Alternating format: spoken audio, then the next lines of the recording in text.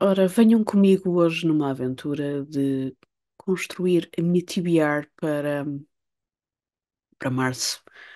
Março é sinónimo de Fantasy Royal Rumble da Words à la carte, portanto, eu vou me focar em fantasia. Quer dizer, não é que eu preciso de razões para me focar em fantasia, ah, mas ah, pronto, é isso que eu me vou focar. Da mesma maneira que em fevereiro, supostamente ia-me focar em contos de fadas e ah, livros de não ficção sobre contos de fadas, não correu mal. Depois no, no vídeo de leituras irei eh, aprofundar melhor o assunto, mas eh, não li exclusivamente isso e vou ali uma- umas quantas, ah, alguns atalhos que eu ah, fiz para outro, outras leituras ah, que não estavam programadas. Foram interessantes de fazer, mas não estavam programadas. Então, eh, como eu tinha dito, eu acho que, sim, eu, eu acho que não.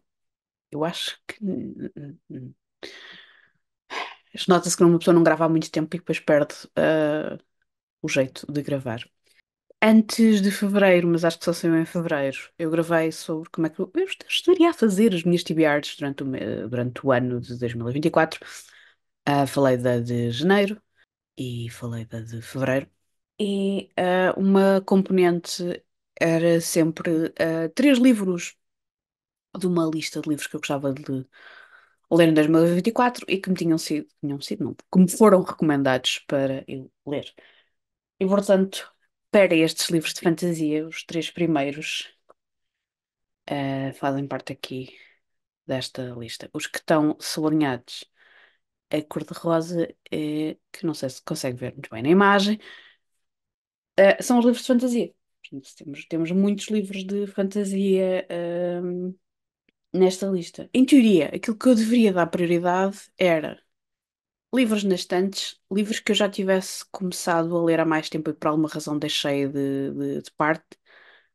Portanto, isso punha logo aqui o, o World's End do Mark Shadburn no, no topo da da lista.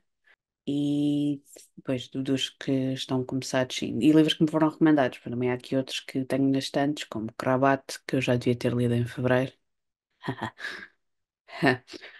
Pode ser que ainda leia, mas ainda não acabou, não é? Porque depois há muitos livros de fantasia que eh, eu não tenho em formato físico. Existem em formato digital ou em audiobook. Alguns não tenho a certeza. Neste momento, assim de cabeça, não, não tenho a certeza qual dos formatos é que tenho. Então, vamos deixar estes, estes três para depois, porque eh, em março eu decidi que a couve regressava com muito, com, com com menos papéis do que é habitual. Acho que não, não chegam a 20 papéis. eh, às vezes estão aqui, não sei, 60, 70. São só livros de fantasia. Ah, já, já, já estão a cair. E portanto vou tirar 5 da couve. Ah, poderão estar alguns livros da outra lista, por isso é que eu não vou escolher ah, dos, dos recomendados primeiro. Portanto, primeiro papel. Ai, parece muito Ah, Twilight Robbery, da Frances Hardinge. É o segundo livro. Não, o segundo livro não. É o, livro que continua o Fly By Night que eu li no ano passado, há dois anos, há três anos. É o único livro da Frances Hardinge que eu li. E, no entanto, eu tenho eh, todos os livros menos um dela. Segundo papel, eh, Empire of the Vampire, do Jake Kristoff. É, é- é- é só um tijolo de tudo também. Onde é que eu arrumei esse tijolo? Hum, ok. Ahm, e que é um dos livros da outra lista, portanto, posso, em teoria, posso tirar mais um papel aqui da couve. Sabe, batatas.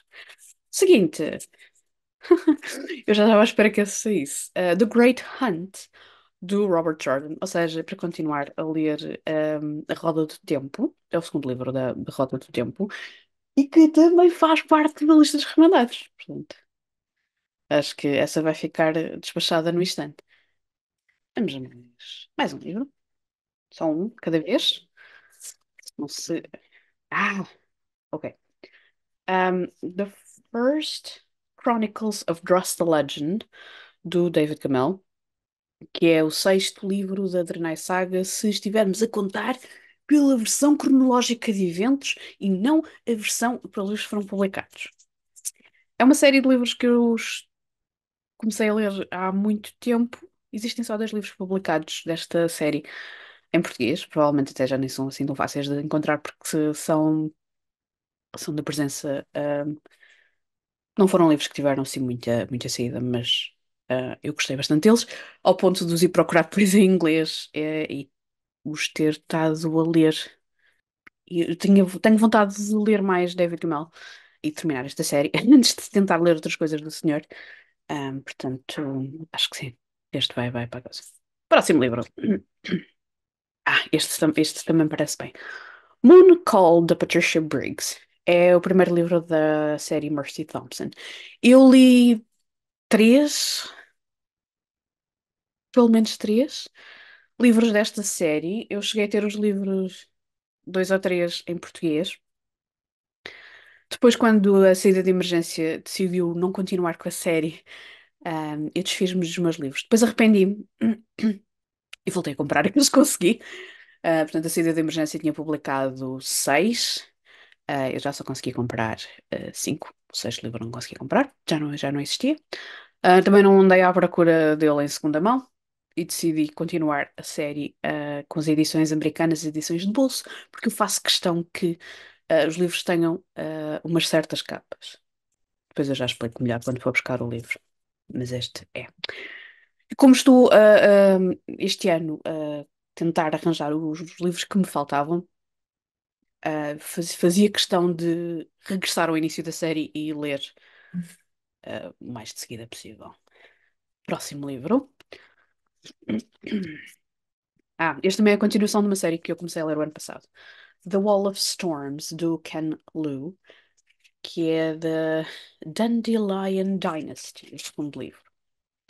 Porque eu tenho um péssimo hábito de começar séries e não e não os terminar. Portanto, temos dois dos recomendados e já temos quatro livros. Vamos ver o que é que sai a seguir. Ah, parece bem. The Lions of Al-Rassan, do Guy, Gav Guy Gavriel Kay. Este livro existe uh, em português, ou já existiu em português. Os Leões de Al-Rassan. Uh, eu ano passado estreiei-me com Guy Gavriel Kay, li quatro livros dele, adorei. Tenho, não tenho todos os livros dele, mas tenho quase toda a bi biografia do senhor, portanto tenho que justificar a leitura deles. Será que o próximo que vai sair é dos, dos recomendados? Ou é um extra?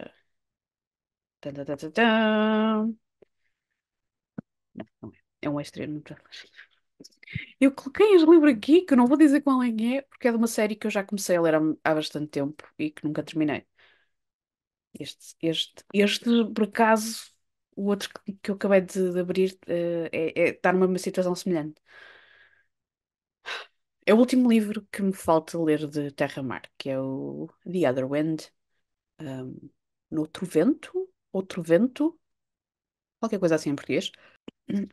Mas eu não quero terminar Terra Mar, por isso é que da outra vez eu quis ler os livros todos e depois não li o último. Fica aqui como uma hipótese de lado. Ainda, ainda tenho livros aqui na Qualquist. Ah, este também era fixe ler. Hum. É o Castle in the Air, da um, Diana Win Win Winnie Jones. Um, basicamente é o segundo livro da série ou trilogia do Alice Moving Castle. Eu gostava mesmo que saísse aqui. Eu acho que tenho aqui mais um dos recomendados para aqui. Uh, acho que gostava de estar a escolher de outra maneira. Uh, não, isto não. Ou assim. Mas não é dos recomendados.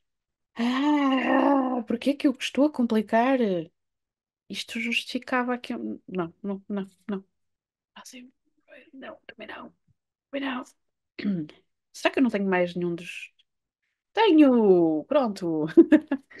Depois de, de olhar para dois e dizer que não, apesar de serem livros que eu devia ler, porque eram livros de séries que eu já comecei e tenho vários livros nos estantes, e que devia continuar, vamos para este, porque este, este eu tenho mesmo, meu Deus, os livros recomendados, os três são três calhamaços.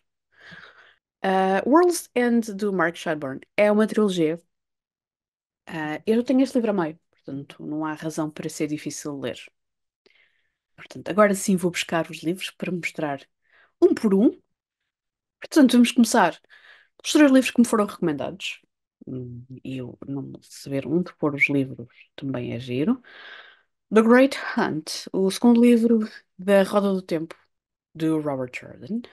Esta capa ainda parece com um ar mais deslavado na imagem. O que é que eu sei sobre este livro? Nada. Olha, engraçado, tenho um marcador de livros, significa que eu comecei a ler este livro, estou na página 44. Comecei a ler este livro uma vez. Uma vez? Não. Quando fui a um evento na Feira do Livro sobre a Roda do Tempo, eu ouvi estes 44, estas 44 páginas no autocarro enquanto ia para Lisboa. Eh, Eu vou ler este livro por culpa da, da Xinha, da Phoenix Flight, porque ela, cada vez que fala nos livros, eh, deixa-me deixa-me com vontade de regressar a este mundo. Vamos ver como é que corre, porque este livro até nem é assim muito grande. Não, não é muito grande. Uma pessoa que já leu um livro de mil e tal páginas, do Brandon Sanderson, não é? Este eh, são 700 com, com o glossário. Se tirarmos o glossário, são menos 20 páginas. Portanto, Robert Jordan. Era World's End, do Mark Shadburn. Este livro foi recomendado pelo Heartless. Esta é uma trilogia que se chama The Age of Misrule. Este sim, eu já tinha lido, quase 300 páginas. Aqui está o marcador de livros. É, portanto, é uma questão de continuar a ler. Qualquer um deles provavelmente irei pegar nos audiobooks porque era a maneira como eu estava a conseguir ler estes livros. E depois o último, como se os outros não fossem ah, muito grandes. Empire of the Vampire, do J. Christoph. Este ano sai o segundo livro. Ah, eu consegui comprar os livros em segunda mão, assim, um preço estúpido. Acho que foi o ano passado. De outra maneira, eu não teria ah, hardcover. Eu raramente compro hardcovers. Ah, mas pronto. Esta é uma recomendação da da Shadow. Eu só sei que tive um piso, não sei mais nada. Portanto, os três livros recomendados, então, são estes. Como eu disse, é um, cada um melhor que o outro. Mas dois deles já estão começados, portanto, não é assim tão. uma tarefa tão difícil quanto isso. Se calhar é, não sei. Bom, então vamos agora para os cinco livros instantes.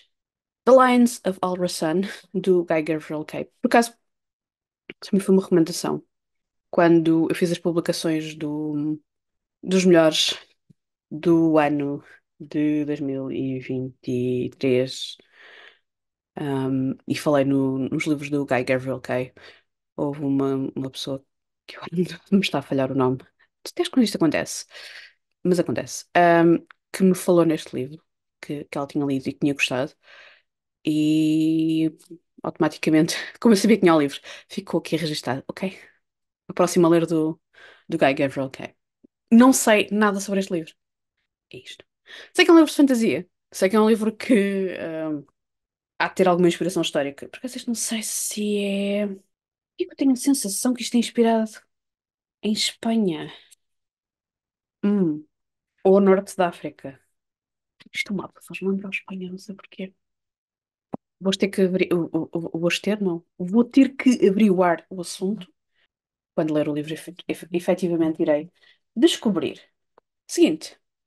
O Pelo da Lua, da Patricia Briggs, que é o portanto, Moon Called, é o primeiro livro da Mercy Thompson. É um livro de fantasia urbana. Ah, eu tenho a comecei a ler este antes do Dresden Files.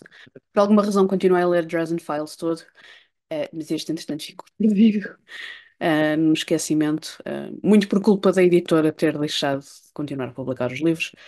Ah, e depois, porque não era assim tão fácil encontrar as capas que eu quero. Porque eu faço questão de ter estas capas. Estas capas são todas pintadas a óleo, ah, por um ilustrador que eu gosto bastante Espero que esteja aqui dito quem é o nome dele, porque agora está-me a dar, um- está-me a dar uma falha, exatamente. Daniel dos Santos. Não, não, ele não é português. É hispânico. Eh, Hispânico? Não, se calhar não será hispânico. Eu adoro a arte deste eh, artista. E por isso mesmo. Como eu não tenho dinheiro para comprar, nem, quer dizer, uma pintura seria completamente fora de questão. Ah, uma print também acredito que seria esticar um bocadinho a corda, mas seria mais eh, fácil. Como aquilo que é mais acessível é mesmo comprar um livro, e há dois em um tenho arte na capa, e uma história para ler lá dentro. Pronto, isso mesmo. As capas inglesas não são, não têm eh, arte de coisas, só as americanas é que têm. Ah, portanto, aqueles que não foram publicados em português, o que eu já não consegui arranjar em português, ah, estou a tentar arranjar as edições americanas. Nem sempre é assim tão fácil quanto isso. Até porque alguns destes livros já não são assim tão ah, recentes quanto isso. Mas, enfim, detalhes. Olha que bom! Este também tem um marcador de livros cá dentro. E é de um dos livros do Ana. Este livro possui um mapa. Eu já li estes, estes, estes livros há muito tempo. Ahm, e lá está. Eu quero regressar a esta série. Seguinte.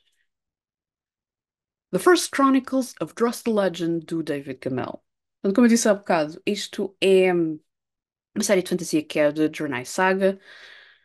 Ah, eu estou a ler pela ordem cronológica dos eventos e não por ordem cronológica de publicação, portanto já li os... Este livro já fez parte de uma couve. Aliás, não foi uma couve, foi depois, porque tem aqui um desafio dentro de... Lê um livro de uma série que ainda não tenhas acabado. De vez em quando descubro assim coisas interessantes dentro dos meus livros.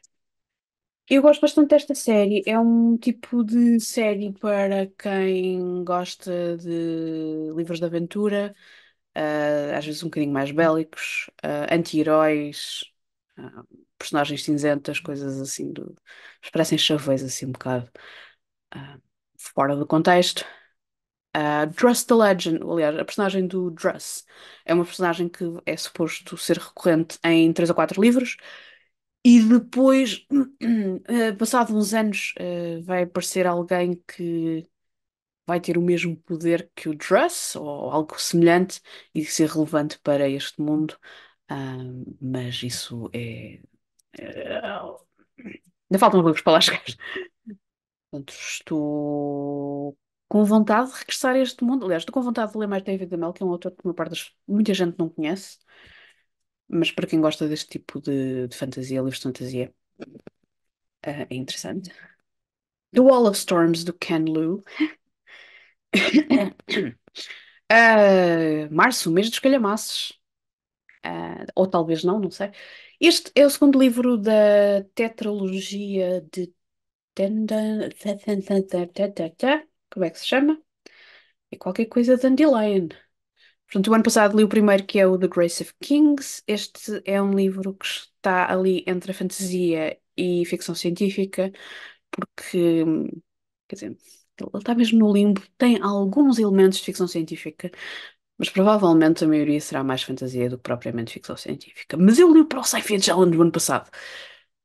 Eu assumi a batota, que não é completamente batota, mas eh, não sei até que ponto este volume terá mais eh, tecnologia relevante. eh, porque, por exemplo, estes são, são. Ai, como é que eles lhe chamam? Não é steampunk. Isto não é steampunk. E de certeza que não está aqui escrito em lado nenhum. Porque até foi, até foi o Ken Look que eh, inventou este termo. Silkpunk. Eh, estes narwhals, eu não sei como é que se diz em português. São umas baleias com. Isto é tecnologia. Estas coisas voadoras é tecnologia. Ah, no livro anterior ficámos num ponto muito interessante e eu estou super curiosa para ver o novo imperador deste reino. Como é que ele vai lidar com as coisas que ficaram do, do fim do, do livro anterior e o que é que vai acontecer mais? Porque existem mais dois livros. Parece-me ser interessante. Eu não queria deixar muito tempo, eh, porque eu tinha tendência a deixar muito tempo entre livros de séries e não é que eu não me recordo, porque depois quando começo a ler, uh, recordo-me mais vagamente aquilo que li. Um, posso não me lembrar de algum de, de, detalhes, mas no geral tenho ideia do que é que é a história. Uh, só que quanto mais tempo passa, pior um pouco. Portanto, uh, eu estava com vontade de avançar em algumas séries. Não sei como é que isso vai correr, mas não percam os próximos episódios, porque nós também não. No mesmo sentido, temos aqui então o Twilight Robbery da Frances Hardinge. Primeiro, porque eu quero ler tudo da Frances Hardinge. Uh, segundo, porque eu tenho que começar por algum lado e porque não por acabar por, com, com uh, um, um que é a duologia, o resto dos livros dela são. não tem continuação, portanto, vamos acabar com isto até porque eu conheci, conheci não, eu gostei muito eu gostei muito do, do Fly By Night. Eu não sei se isto está traduzido em português, mas o Fly By Night está traduzido em, em- em- para português. Um, gostei muito da, da Mosca, Mosca Mai, que é a nossa personagem principal, uma das nossas personagens principais. Eu já tinha começado a ler este livro. Tenho 140 páginas lidas. Vai ser, acho, acho, acho que sim, acho que é uma- foi, foi uma boa ideia ter, ter sido este livro. E portanto, são três recomendados, cinco da minha estante e vou ter como, como fevereiro, vou ter dois livros extra, porque fazem parte de séries, uma que eu quero acabar e outra que eu quero continuar. Ok? Então vamos começar primeiro com a que eu quero acabar, que é o The Other. Rasparta. Eu não me entendo com eh, os ângulos da câmara. The Other Wind, da Ursula K. Le Guin, o último livro de Terra-Mar. Dependendo de como queiram ler, se quiserem ler os contos uh, depois de terminarem uh, os livros, ou se querem ler antes de The Other Wind. Eu li antes de The Other Wind, até porque eles. No Goodreads aparece como o quinto livro e este como o sexto, mas não tem necessariamente que ler dessa maneira. Existe uma novela que faz a ligação entre o entre Terrano e o The Other Wind, que está no- nos contos, mas acho que não é completamente essencial uh, lerem dessa maneira. Bom, posto isto, eu tenho mesmo que ler este livro. Eu, tenho que terminar, uh, tenho que terminar a minha visita em Terra-Mar, uh, para eventualmente regressar ao início. Uh, mas eu não vou. Eu sei que se eu sei que se tentar começar de, de início, provavelmente vou terminar no mesmo ponto e deixar este por ler. Já não será a primeira vez que isso acontece. Uh, noutras releituras fiz o mesmo. Portanto, se eu decidi evitar um livro, eu vou continuar a evitá-lo até deixar de o evitar. Uh, e o The Other Wind tem sido evitado durante muito tempo. Da mesma maneira que o Golden Hand, uh, do Garth Nix também tem sido evitado durante muito tempo. Escolhas. Foi um dos livros que eu decidi ignorar da couve. O outro livro, então, Castle in the Air, é o segundo livro da série, ou livros que fazem parte do mesmo mundo do Howl's Moving Castle. O Howl's Moving Castle foi um livro que eu li o ano passado, adorei, li três vezes o livro. Ah, portanto, este ano acho que fazia sentido continuar. Ver se gosto da, da, da série, portanto, existe o Castle in the Air, existe depois o House of Many Ways que eu, tive um momento de pânico a tentar perceber qual deles é que era mesmo o seguinte, porque já não seria a primeira vez que leio livros fora de ordem, ah, como por exemplo os livros da Sandra Carvalho. Li um livro fora de ordem nunca mais peguei na, na série outra vez. Porque voltar atrás já não tem piada, ah, e depois decidi não ir para a frente. No entanto, ah, isto já foi há muitos anos. Entretanto, já comprei os livros todos que me faltavam da série porque é aquela série mais, mais longa da autora. Lê-los é outra história. São dois desportos. Adquirir livros e ler livros. Dois desportos diferentes. Pronto. Vamos tentar empilhar os livros todos. Já dá um resultado. Porquê fazer pesos e halteres quando a pessoa pode levantar livros? É isto. São os, estes são os livros que eu gostava de ler em março. Vamos ver como é que corre. E se eu não os ler, a culpa é da couve. Porque a culpa nunca é minha, é só da couve. Já leram algum destes livros? Ficaram interessados em algum? Digam-me nos comentários e até o próximo vídeo.